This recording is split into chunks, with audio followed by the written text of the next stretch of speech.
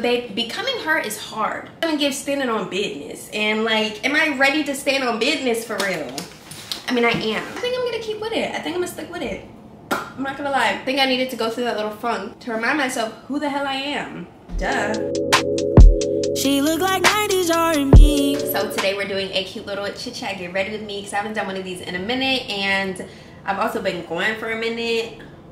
I don't think I've posted like an actual like sit down YouTube video in a month, which is like, girl, we're about to chit chat for a little bit. Grab your snacks, grab your tea, grab your wine. I have my hot lemon water here because your girl is coming off from having the flu. First and foremost, happy 11-11. I'm not uploading it on 11-11 so I'm hoping that your past self manifested today because today is like a big portal for like getting our dreams together. I'm gonna do a more in-depth video of a get ready with me featuring all products that I think you guys should add to your Christmas list and that's gonna come like in a week or two. But so I'm not gonna go super in-depth on all of the products. You guys wanna be zoomed in or do you want like the, the broad view? Should I maybe zoom you guys in? Do you guys wanna get close and comfortable?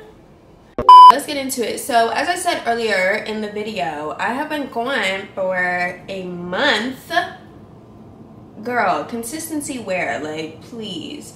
Um, and the reason is, is I kind of fell into like a fall funk. I'm not gonna lie. And it's ironic that literally my last video was how to not be seasonally depressed. And here I was seasonally depressed. Like, babe, make it make sense. Like, once again, like, I know the steps that I need to take, but sometimes you feel like you physically cannot do it. Like, and I go through this every single year. Like, this isn't anything new for me, um, especially when it is like seasonal. There's always so many videos of like, oh my God, there's 60 days left in the year. Like, this is the time to lock in on your habits. This is the time to become her. And people don't talk about it, but babe, becoming her is hard. And that's okay. Becoming your best self is not an easy task because once again, and I say this all the time, if becoming your dream self or like who you want to be in this lifetime was easy, every single person in this life would have exactly what they want. The struggles that come with trying to make these gigantic life shifts and become this like beautiful higher self version of yourself, a lot of the time you're going to be met with so much resistance because you're doing something that's out of your comfort zone and it comes with challenges. You feel like you're kind of out of control, and then it's like you fall off slightly. I get really hard on myself for falling off, and then it makes me not want to do whatever the task was at all. And that's like worst case scenario. Plus, like, I had a situation that triggered me this month. Somebody really close to me um, unfortunately lost their mom. And if you guys don't know, my mom passed away when I was like super duper young. But I feel like that situation like triggered emotions in me that I wasn't like necessarily prepared to process and like it was just a lot. Like me trying to become like the best version of myself at the same time that i have seasonal depression at the same time that i'm getting triggered by like emotional things. And then also like my sister wasn't here and she's kind of like my safety blanket a little bit when it comes to just life. And i feel like i was just going through a lot of emotions and I was just trying to like put on a good face for myself but like was struggling. Pairing that all together, I was just like super in my head last month and I just felt like I was just not really in the space to show up for you guys how I'm supposed to because I'm not really one to like want to create content when I'm not feeling the best because um, I feel like it shows and I don't ever want to come off like fake but I also don't want to neglect you guys at the same time. And I'm, I'm trying to get a little bit more comfortable with the concept of like sharing myself online. Didn't think I was, but babe, I'm honestly a lot more of a private person than I expected myself to. Like I don't always like to share um, the nitty gritty details on exactly what I'm going through all the time, but I'm trying to get over that because I know there's so many people who could probably benefit from me being like transparent about like what I'm going through or like how I'm feeling.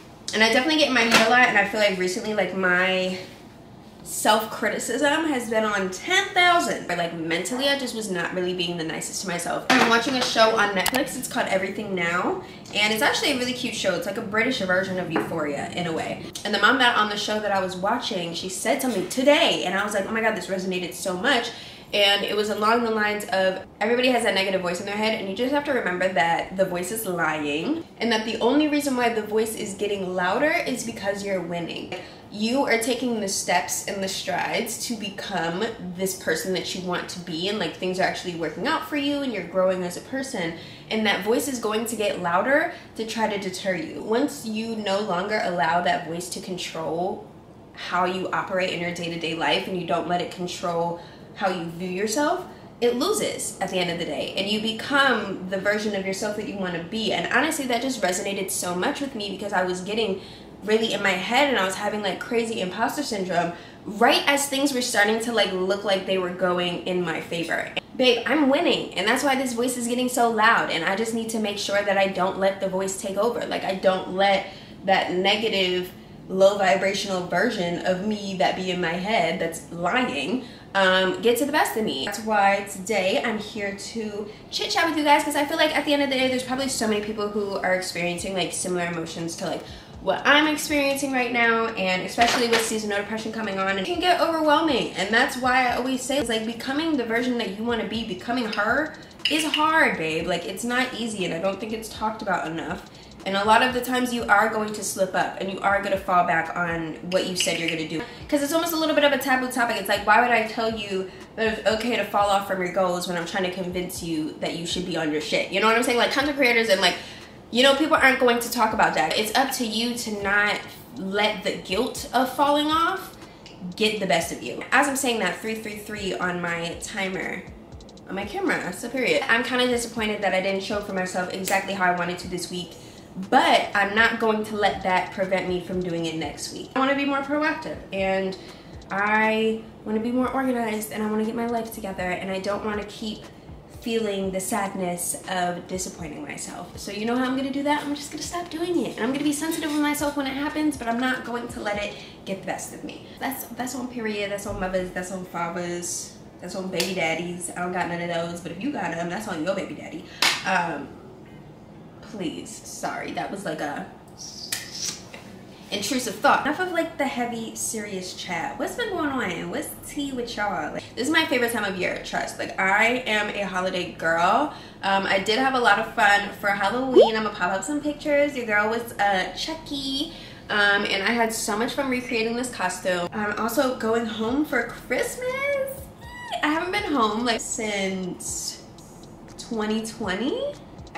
Like damn near I haven't been since I moved. like on a past YouTube video of like my vlog of me moving here, I literally was like, oh my god, this is gonna be the last time I'm gonna ever see this room. Um, I'm finally moving today. This is my last time in my room ever. Goodbye room. Had amazing memories in here. Because like I thought my dad was moving for good but he didn't. But it is gonna be the last time i saw my room in that like version of it. I, my room is a completely different color painted. We took the carpet up. My, i'm not going back to my childhood home. I'm going back to like my renovated childhood home which i think is gonna be kind of fun. Like i'm actually excited to see the changes. I'm about to turn 27 in three months 27 just sounds so old and serious 26 gives like flirty we don't have to be responsible. I'm just 26. Like, you know what I'm saying? Like, it gives very much, like, 26 just gives me flirty. 27 gives serious. 27 gives standing on business. And, like, am I ready to stand on business for real? I mean, I am. But do I want to? No. And, and I always say that your 30s are, like, a more financially stable version of your 20s. So, trust, I'm not afraid to turn 30. But the closer you creep to it, the more you're like, oh, honey what's going on? I've been having that little life crisis. I'm about to enter my Saturn return, as they say. I think it's like 27 to 29 is your Saturn return, and that's when you like really like transform into the person that you're probably gonna be for the next couple years. A process of like trying to figure out like who I am, what my values are, what I want, what my non-negotiables are in terms of relationships, what my non-negotiables are in terms of like career, you know, who I want to show up as in this world, what my values are politically and like all of that. Like i just feel like this age range is like i'm really learning about myself which is great and i'm actually so happy that i'm learning about myself but it's also like a weird growing pains age. I say all of this to say i'm trying to figure out my aesthetic. I feel like sometimes like my aesthetic and like my wardrobe all, all the seriousness aside aesthetically who is zoe alexondra who is she? I feel like I'm really locking into this hair color. The minute I started doing this hair color, I just feel like a new energy awoke out of me and I feel so confident in my appearance and I get told all the time like never change your hair color. This hair color is for you blah blah blah. Um, and I think I'm gonna keep with it. I think I'm gonna stick with it. I'm not gonna lie. And especially because I dye it myself I feel like it's really easy for me to maintain because I know the exact like method I need to use. I just feel like this hair color is giving me like my fiery energy. That's another thing about my year 27. Um, and I feel like red, as you guys can see, I have a little charm bracelet and I chose the color red to remind myself that I need to be more bold and I need to start taking risks. I need to stop playing it safe so much. I play it safe a lot and I want to stop doing that. I want to start just being bold and allowing my personality to shine through, not being afraid to share about myself online, not being afraid to be perceived by people, not being afraid to take risks and travel and get out of my comfort zone. I feel like this era is definitely like for me to lock into that energy. Period. Bold Zoe 2024. Like get into it. Also, four is my number. 444 love her. Just feel it. You know i went through my october funk but i just feel this like fiery energy like ah, like we're about to we're about to go crazy november december january february march april may june july august september october november december all year. Period. And i think i needed to go through that little funk to remind myself who the hell i am. Duh it's 11 11 we're manifesting the most wonderful outcomes most positive possibilities. If you made it to the end of this video i love you so much but i hope just in general this could give you a little bit of like comfort to know that like babe if you're falling off on your goals it's okay. Like it's not the end of the world. You're gonna pick yourself back up and keep going. Don't bully yourself out of doing what you want to do in this life. So i'm gonna be trying to post two times a week in november.